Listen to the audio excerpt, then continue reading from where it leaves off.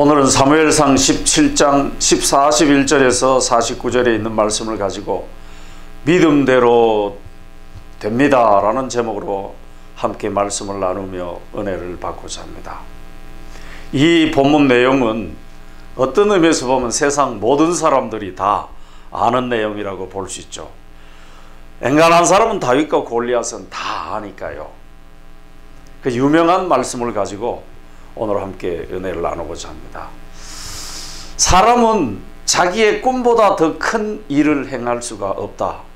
자기가 꿈꾸고 계획한 것보다 더 큰 일을 어, 이루어가는 사람은 그렇게 많지가 않아요.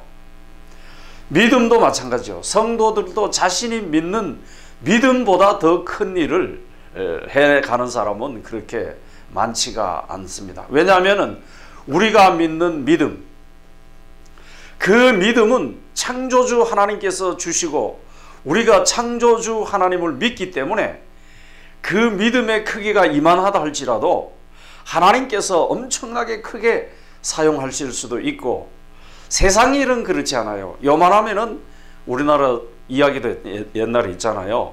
호랑이를 그리려고 해야 고양이도 그리고 그렇게 할 수 있다고. 꿈을 크게 가져야 큰 일을 할 수 있다. 이렇게 이야기하는데 믿음은 겨자씨 하나를 만한 믿음이 있다 할지라도 그 겨자씨가 크게 자라서 새들이 깃들고 사람들이 와서 쉴 수 있듯이 믿음은 그렇지 않는 것 같아요. 믿음은 우리가 창조주 하나님을 믿기는 하지만은 우리의 믿음을 사용하시는 하나님이시기 때문에 이 다윗을 보면은 그것을 잘 알 수 있어요.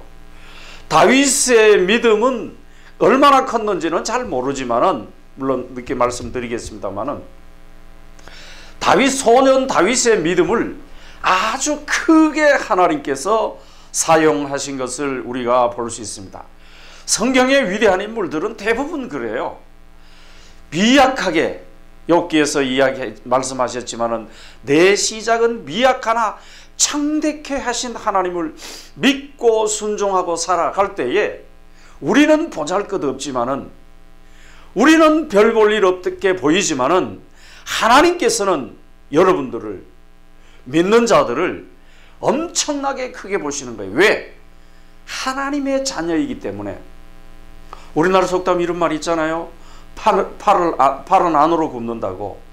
사람들이 거기에 대해서 좀 비판적인데 팔이 밖으로 굽으면 병신이에요. 병신이 되는 거예요. 다 사람이 이렇게 안으로 앉게 되어 있고 굽게 되어 있어요. 하나님도 마찬가지예요. 하나님도 자기 백성, 하나님의 택한 자녀들은 하나님께서 강권적으로 역사하시더라도 사용하시는 것을 보게 됩니다. 그것이 우리가 믿음이 작은 믿음만 있다 할지라도 하나님께서 크게 사용해 주시는 것을 보게 됩니다. 오늘 이 소년 다윗이 이 골리앗을 만나 가지고 싸우는 내용이잖아요. 근데 이스라엘 백성들이 사울을 비롯해서 벌벌 떨고 있는 거예요. 전에는 그런 모습을 보지 못했는데 이, 이 블레셋 전투만은 하나님의 선민답지 않게 골리앗에 꼼짝 못하고 있는 모습을 보게 되죠. 그래서 소년 다윗이 34절에서 36절에 이렇게 고백합니다. 다윗이 사울에게 고하되 주의 종이 아비의 양을 지킬 때에 사자나 곰이 와서 양떼의 새끼를 움키며 내가 따라가서 그것을 치고 입에서 새끼를 건져내고 그것이 일어나 나를 해하고자 하면 내가 그 수염을 잡고 그것을 쳐서 죽였나이다. 주의 종이 사자나 곰도 쳤은즉 사실은 하나님의 군대를 모욕하는 모욕하는 이 할례 없는 블레셋 사람들도 그와 같이 될 거라고 이렇게 고백하는 것을 보게 됩니다. 비록 소년 다윗이라 할지라도 그 속에 믿음을 보시고 하나님이 크게 사용하시는 거예요. 우리도 우리 속에 있는 믿음을 하나님이 어떻게 보시느냐에 따라서 그것을 크게 사용해 주시는 것을 볼 수 있습니다. 다윗은 이 땅에 살아가면 이 땅에 쭉 살아가면 다윗의 역사를 보면은 이 사건 골리앗을 물리친 이 사건 이후로는 시련과 역경과 고난과 뭐 온갖 어려움을 겪게 되는 것을 우리가 말씀을 통해서 잘 알고 있죠. 그래서 제가 생각해 보면은 신앙은 믿음은 완전히 성숙돼서 열매 맺을 때까지는 시련과 역경과 고난과 어려움을 겪는 것이 보통 성경의 인물들이에요. 우리도 때로는 이런 역경 저런 역경 이런 시련 저런 시련 겪으면서 하나님 왜 나에게만 이런 시련 저런 역경 고난을 겪게 하십니까? 나랑 똑같이 신앙생활을 한 친구는 승승장구하고 잘 나가는데 저는 왜 이렇게 시련을 당하게 합니까? 나에게 왜 이런 몹쓸 병을 주십니까? 나에게 왜 이런 어려움을 주십니까? 라고 이렇게 에, complain 아닌 하소연이 아닌 이런 고백을 할 때도 있죠. 그러나 신앙의 완성 단계는 아름다운 열매를 맺고 큰 일을 하게 할 때는 하나님께서 그 시련과 역경과 고난을 반드시 거치게 하는 것을 보게 됩니다. 욥도 그랬잖아요. 동방의 의인으로 허점 하나 없는 자녀들의 문제까지 깨끗이 잘하는 이 욥에게도 시련과 역경과 고난과 어려움 속에 그것을 이기고 났을 때에 전보다 배의 축복을 주고 더 하나님이 더 칭찬하고 하나님께서 엄청난 복으로 갚아주시는 것을 보게 됩니다. 여성들이 좋아하는 그 보석 여성들은 다 보석을 좋아해요. 능력이 되면은 모든 보석을 소유하고 싶어 하죠. 근데 바다에 나는 그 유일한 보석이 규, 그, 따, 진주잖아요. 갑자기 생각들이 잘 안 나는데 진주잖아요. 그 진주가 어떻게 만들어지느냐 하면은 아비큘레이터라는 굴 속에서 만들어진대요. 이 굴이 가다가 그 모래가 그 안에 들어온답니다. 모래가 들어오면은 너무나도 고통스러우니까 아프니까 그 고통을 참기 위해서 네이커라는 분비물을 계속 뿜어낸대요. 고통을 잊기 위해서. 그 네이커라는 분비물이 모래를 자꾸 감싸고 감싸고 감싼대요. 그래서 이 네이커가 많이 분비돼서 이 모래를 크게 감싸면은 아주 귀한 굵은 진주가 만들어진다는 거죠. 그것은 그 굴이 고통을 잊기 위해서 그 네이크를 계속 만들어낸다는 거예요. 우리 신앙인들도 마찬가지예요. 시련과 역경과 고난이 닥쳐올 때에 이 네이크라는 우리의 믿음, 우리 네이크라는 이 사랑, 네이크라는 헌신, 네이크라는 봉사, 네이크라는 감사, 레이크라는 이 희생을 우리가 기도로 말씀으로 이 고난과 역경을 감사할 때는 아름다운 신학의 열매를 맺게 되는 거예요. 진주처럼 아름다운 보석을 만들어낼 수 있는 거예요. 그러지만은 두 종류가 있다네요. 그 굴이 모래가 들어오면은 조금 힘들고 아프더라도 그거를 무시하고 억지로 견디고 그 레이크라는 분비물을 뿜어내지 않고 억지로 견디고 이러면은 그 굴은 죽어버린대요. 모래 때문에 썩어서 죽어버린다라고 이렇게 말씀하는 것을 보게 됩니다. 아까도 말씀드렸지만은 우리 신앙인들도 시련과 역경과 고난이 닥쳐올 때에 여호와 하나님을 믿는 믿음의 네이커로 사랑의 네이커로 인내의 네이커로 소망의 네이커로 감사의 네이커로 기쁨의 네이커로 기도의 네이커로 봉사와 헌신의 네이커로 그것을 감사하고 하나님께 기도하고 충성하고 헌신하고 봉사할 때에 이 땅에 아름다운 신앙의 진주의 보석을 만들어낼 줄 믿습니다. 다윗이 그랬던 삶을 살았던 거예요. 소년 다윗도 자신에게 닥쳐오는 그 순간순간마다 하나님을 전적으로 믿고 의지하고 순종하며 살아갔을 때에 그 참 하나님을 믿는 믿음의 네이커를 만들어서 그 고난과 시련과 역경을 감쌌을 때에 엄청난 보상으로 하나님께서 갚아 주시는 것을 보게 됩니다. 설날에도 말씀드렸지만 이 본문은 블레셋 사람들 쳐들어왔을 때에 전에는 그렇지 않았어요. 사울 왕도 보면은 사울이 왕이 되고 난 뒤에 사무엘상 11장에 보면요. 암몬 자손들에게 크게 선멸했다. 11장 6절에 보면 사울이 이 말을 들을 때에 하나님의 신이 크게 감동됨에 그가 노하여 크게 일어났다. 암몬 자손을 쳐서 이긴 거예요. 사무엘상 14장에 보면은 사울의 아들 요나란도 블레셋 전투에서 크게 공을 세우는 거예요. 그것도 14장 47절에서 48절에 보면은 사울이 이스라엘 왕위에 나간 후에 사방에 있는 모든 대적 곧 모압과 암몬 자손과 소바의 왕들과 블레셋 사람들을 쳤는데 향하는 곳마다 이기었고 용맹하게 아말렉 사람을 치고 이스라엘 사람들을 약탈해 간 것을 모두 되찾아왔다. 라고 이렇게 기억하고, 기록하고 있습니다. 사울이 향하는 곳마다 이기게 했다라고 이렇게 말씀하고 있습니다. 그런데 이 전투만은 골리앗이 나타나서 그럴까요? 3m에 가까운 골리앗이 나타나서 믿음이 없기 때문에요. 상대가 아무리 크다 할지라도 고래만 하다 할지라도 엠파이어 스테이트 빌딩만 하다 할지라도 믿음만 있으면은 그게 작게 보이는 거예요. 그 열두 정탐꾼에서도 나오잖아요. 여수와 갈렙은 저들은 밥이다. 하나님보다 큰 것은 이, 이 세상에 존재하지 않으니까 밥이다. 그랬지만은 다른 열명은 우리는 그들에 비하면 메뚜기다. 얼마나 차이가 납니까? 세상을 믿음의 눈으로 볼 때는 세상을 밥으로 보는 거예요.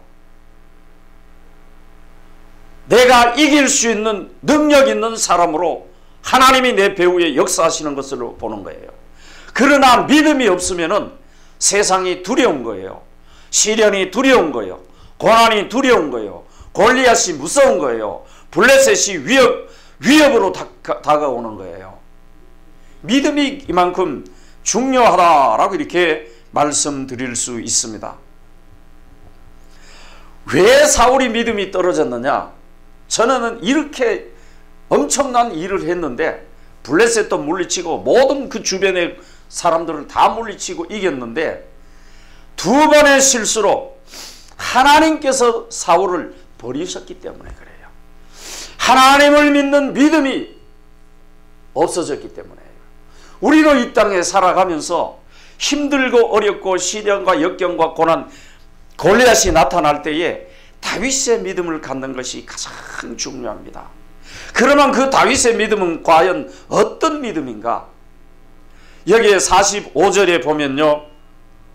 다윗이 블레셋 사람에게 이르되 너는 칼과 창과 단창으로 내게 오거니와 나는 만군의 여호와의 이름 곧 내가 목욕하는 이스라엘 군대의 하나님의 이름으로 내게 가노라. 얼마나 믿음이 강합니까? 네가 가져온 것은 세상 사람들이 두드려 만든 칼과 창과 단창 이런 무기지만은 나는 말씀으로 우주 만물을 창조하신 창조주 하나님의 이름으로 너희인데 간다는 거 얼마나 차이가 납니까? 우리도 이 세상 살아가면서 만군의 여호와의 하나님으로 이 세상을 향해서 나갈 때에 골리앗이 두렵지 않습니다. 세상 어떤 역경과 시련도 두렵지 않습니다. 고난도 두렵지 않아요. 그러나 믿음이 떨어져 버리면은 믿음이 나에게 하나님이 사라져 버리면은 세상 모든 것이 두렵고 떨리는 마음으로 우리가 볼 수밖에 없는 것을 보게 됩니다. 그래서 믿음의 차이라는 것은 하늘과 땅 차이입니다. 그러니까 오늘날 우리 사회를 한국 사회를 한번 보면은 과연 이 말씀을 가지고 제대로 믿고 살아가느냐? 이 국가나 개인이나 이, 이 종말론적 현상들이 일어나거든요. 한국도 말하면 신라나 고려나 고, 고구려나 조선 왕조나 다 말세의 그 현상이 있습니다. 세계사를 봐도 그렇고 로마도 그렇고 폼페이가 이 폼페이가 망할 때도 그러고 도덕과 윤리적인 타락이에요. 이것이 종말론적 현상입니다. 이것은 어떤 개인의 힘으로 능력으로 막을 수 있는 게 아니에요. 종말론적 현상이기 때문에 오늘날 한국 사회도 보면 그래요. 많은 청소년들이 향락을 향해 말씀에 요구하는 효도라든지 이런 거는 없어져 버린 거예요. 제가 한국에 있을 때도 아시아 17개국 중에 한국 청소년들이 부모에게 효도하는 게 꼴찌였어요. 17이었어요. 우리나라가 충료를 강조하고 그렇게 하지만은 그렇지 않아요. 외국 사람 효도 안 하는 것 같죠? 합니다. 특히 멕시코 사람들은 정말 삼, 친인척들에게 잘해요. 요즘 우리나라는 그런 게 싹 사라져 버렸잖아요. 이게 종말론적인 현상이라고 볼 수 있어요. 우리는 자녀들을 믿음을 갖게 믿음을 갖고 살아가게끔 잘 양육해야 됩니다. 다윗이 믿음을 갖고 살아갔기 때문에 좌절하지 않고 낙담하지 않고 실망하지 않았던 거예요. 다윗이 만약에 이 믿음을 끝까지 유지하지 않았다면 다윗은 아마 정신병이나 공황장애나 이래서 전번에도 말씀드렸지만 자살했을지도 몰라요. 우리나라 청소년들 보세요. 시험 한 번 잘못 쳤다고 옥상에서 뛰어내리는 사람이 없나? 애들이 없나? 부모에게 혼났다고 자살, 투신 자살하는 애들이 없나? 왜 이렇게 나약하게 키우냐고요. 다윗이 이렇게 용감하게 용감할 수밖에 없고 하나님을 절대적으로 믿을 수밖에 없었던 것은 다윗의 믿음이에요. 경험적 믿음이에요. 체험적 믿음이에요. 서론에도 말씀드렸지만은 사울 앞에 불려갔을 때에 내가 아비의 양을 지킬 때에 사자나 곰이 와서 새끼를 훔쳐가면은 물고 가면은 내가 수염을 가서 쳐서 뺏어 왔다고 그가 일어나려고 하면은 수염을 자꾸 쳐주겠다고 야전사령관이잖아요. 그렇게 자랐기 때문에 그때 다윗이 왜 안 무서웠겠어요? 그러지만은 항상 거기는 목동 생활을 하면서 내 배후에 계신 하나님 늘 다윗은 찬양하고 기도하면서 살았다고요. 그때 그 굳건한 믿음이 일평생 가는 거예요. 어제도 한 48년 만에 47년 만에 친구가 후배가 전화 와가지고 이런저런 이야기를 하면서 내가 제가 이야기했죠. 나는 이 땅에 살아가면서 신앙생활이 가장 틀이 잡힐 때가 언제냐? 유엔주일 학교다 이렇게 생각합니다. 유엔주일 학교를 어떻게 어디서 교육을 받았느냐? 누구에게 교육을 받았느냐? 일생을 좌우합니다. 다윗도 마찬가지예요. 다윗도 어렸을 때 그 신앙이 일생을 좌우하는 거예요. 잘못했을 때는 깨끗하게 회개합니다. 반항하지 않아요. 왜? 하나님을 전적으로 믿기 때문에. 그래서 만군의 여호와의 이름으로 다윗은 일생을 살았어요. 우리 사랑하는 성도님들, 이 말씀을 듣는 모든 분들, 우리가 일생은 남은 생에 다윗을 본받아서 믿음을 가지고 만군의 여호와의 이름으로 이 세상에 나갈 때에 세상이 두렵지 않아요. 골리앗이 두렵지 않아요. 믿음이 문제예요. 다윗의 믿음도 하루아침에 생긴 것은 아니라고 봐야 되죠.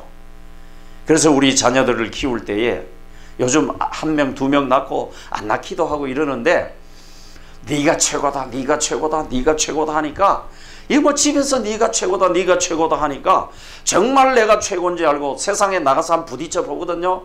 부딪혀 보면 내가 최고는 고사하고 꼴찌에 얼쩡얼쩡 하는 애들이 많단 말이에요.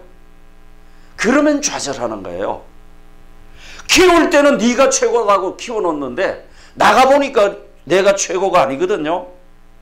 다윗처럼 현장에서 부딪히면서 하나님을 전적으로 믿고 의지하게끔 우리가 자녀를 양육해야 이 세상에서 어떠한 파도가 몰려와도 어떠한 골리, 와시 쳐들어와도 세상에 어떤 고난과 시련과 역경이 와도 그것을 이길 수 있는 믿음이 있는 거예요.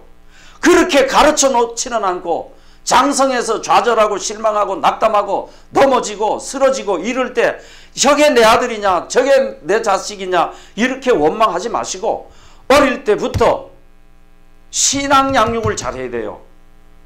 다윗처럼 그러면 일평생 살아가는데 이세가 다윗에게 물러준 게 아무것도 없습니다. 뭐 물러줬어요? 금수저를 물려줬어요. 다이아몬드를 물려줬어요. 아무것도 없습니다. 양 한 마리도 안 물려줬어요. 쫓겨다니는데 양 한 마리 끌고 가면 오히려 방해될 수밖에 없잖아요.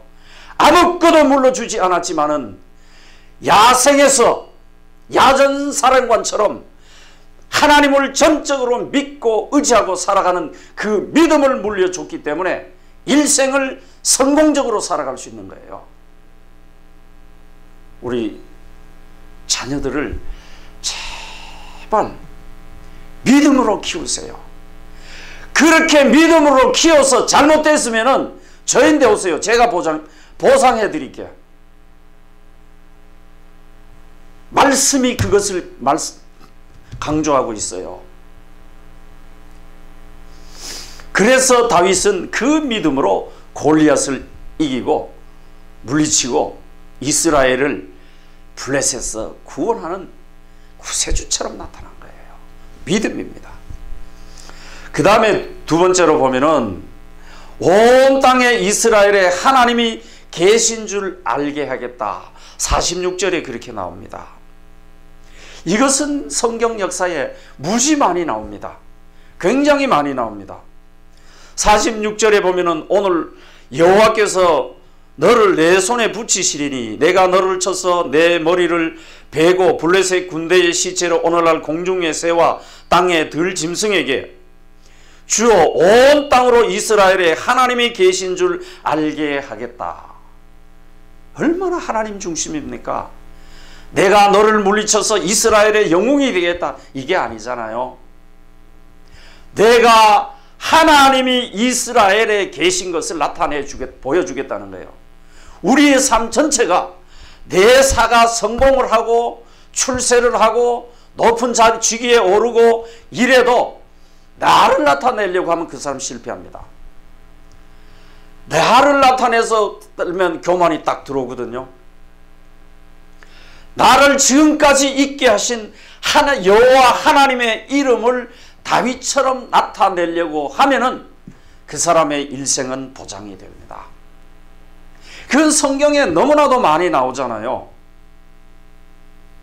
역사학자 토인비가 말했어요. 하나님이 계신 줄 알려면은 이스라엘 역사를 공부해봐라.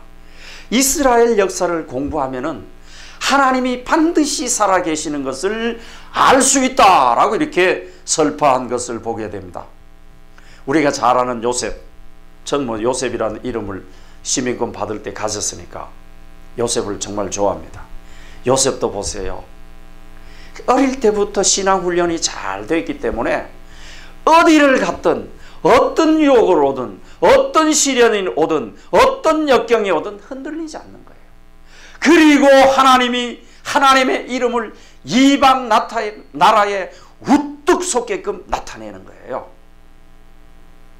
창, 창세기 41장 37절 39절에 보면은 바로와 그 모든 신하가 이 일을 좋게 여긴지라 바로가 그 신하들에게 이르되 이와 같이 하나님의 신에 감동한 사람을 우리가 어찌 얻을 수 있으리요 하고 요셉에게 이르되 하나님이 이 모든 것을 내게 보이셨으니 너와 같이 명철하고 지혜 있는 자가 없다. 그 바로 입에서 하나님의 하나님 하나님 하나님 이렇게 하잖아요. 다니엘서에도 보면요. 3장에 보면 사드락 메삭 아벤느고가 나옵니다. 거기에서도 느부갓네살이 이 하나님을 설만히 여기고 함부로 말하는 것은 그 집을 거름더미로 만들겠다는 거예요. 사드랑 메삭 아벤누고를 찬양한다 그랬어요. 사드랑 메삭 아벤누고의 이름을 높인다 그랬어요. 그리고 그 세 사람을 높이 들어 더 높이 들어 사용했어요. 다니엘서 6장에도 마찬가지예요. 다니엘이 사자, 사자 굴 속에 들어갔을 때에 다리오 왕이 직접 굴까지 찾아오잖아요. 그래서 다, 다니엘을 모함했던 모든 사람을 처치하잖아요. 믿음이 이만큼 중요합니다. 이 믿음 때문에 온 세상에 하나님이 살아계심을 나타내 보여야 되는 것이 우리 믿는 자들, 하나님의 자녀들의 사명이라고 이렇게 말씀드릴 수 있습니다. 그 뿌립니까? 에스더하고 모르드게도 마찬가지잖아요.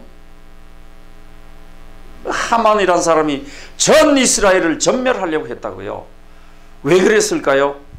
예수 그리스도의 탄생을 막기 위해서요. 끊임없이 노력합니다. 사탄은.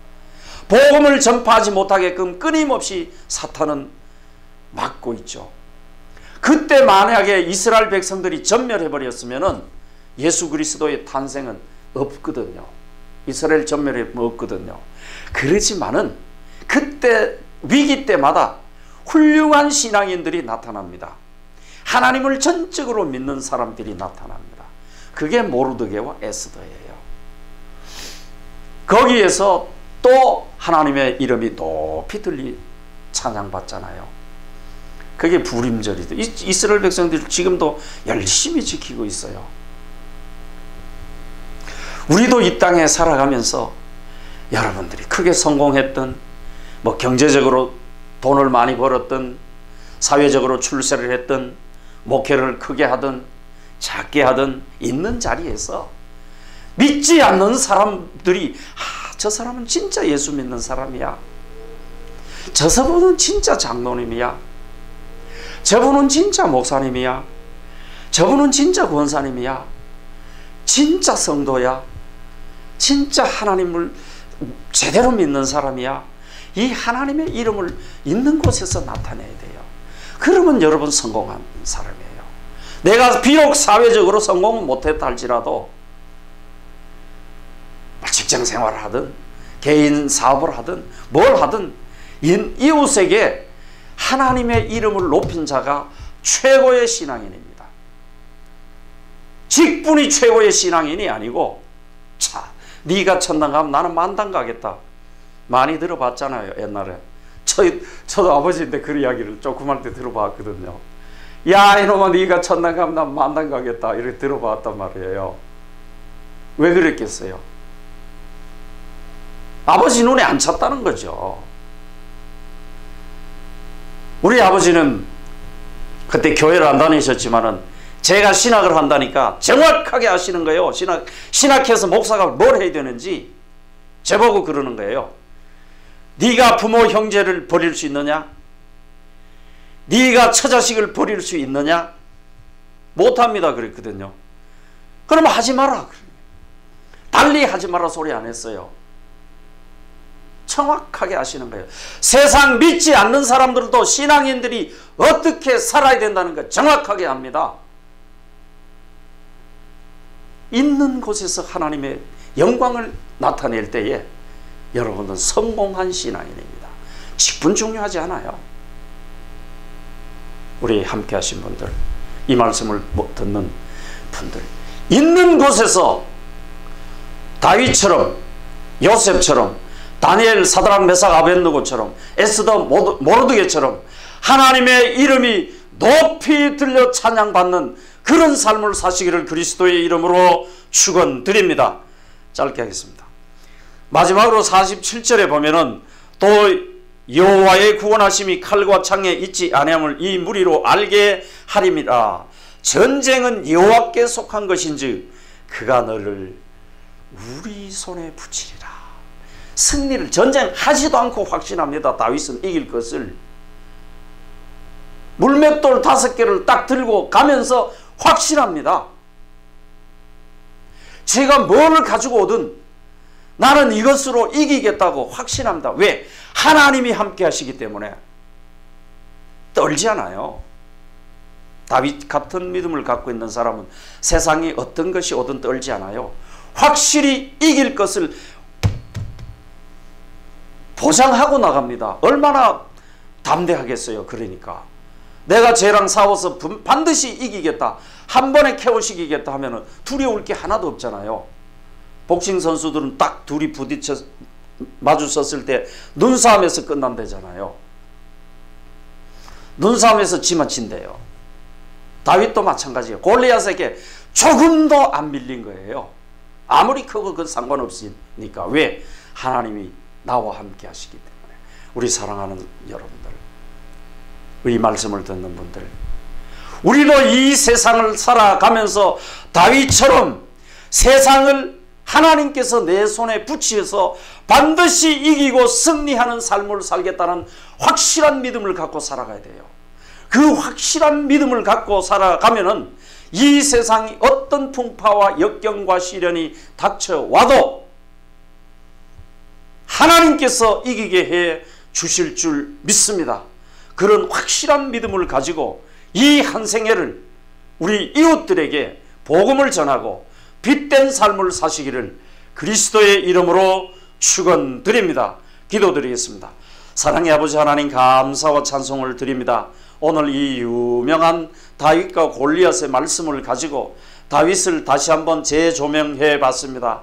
우리들은 다윗보다 참 턱도 없는 믿음을 갖고 있지만은 다윗처럼 저희들도 확실한 믿음을 가지고 이 한 생애를 승리하며 살아가게 해 주시옵소서.